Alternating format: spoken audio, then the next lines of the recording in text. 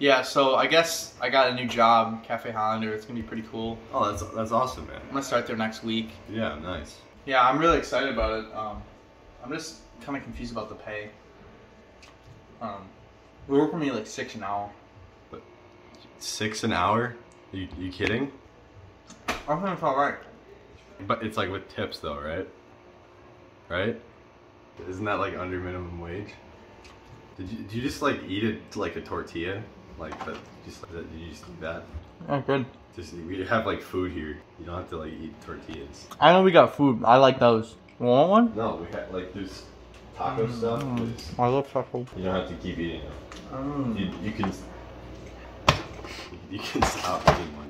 And snap out of it. I like it. It's good. It's really yummy. We, we, we have food everywhere, man. Wheat, corn. Dude, stop. I just want to. We have stop. Okay, I know there's like one left, but like you, you don't have to eat it. Dude, we, you, uh, you've eaten like ten. You've eaten like thirteen. Then why don't you have it?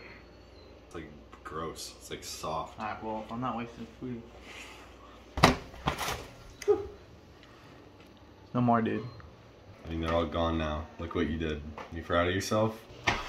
There's nothing else to eat in this house.